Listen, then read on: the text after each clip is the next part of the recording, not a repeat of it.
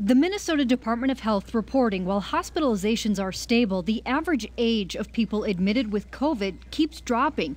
For example, infectious disease director Kris Ehresmann says last November, 3.7% of cases of people 50 to 59 years old were in the hospital. Now it's nearly doubled. We're seeing okay. increases in the percent of people, and then we're also seeing, um, you know, more severe disease in the, that population that's being hospitalized. She says the severity is being driven by the variant from the United Kingdom that accounts for more than half of our cases. On the other hand, MDH says vaccines are protecting the state's elderly. 88% of them are now fully vaccinated.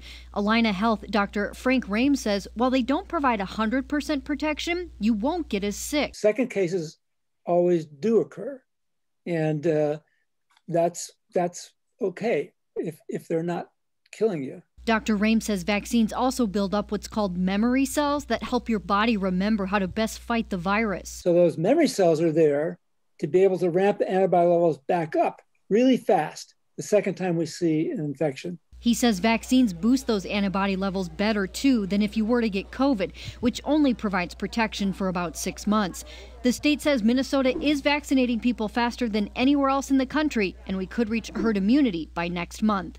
Jennifer Hoff, KARE 11 News.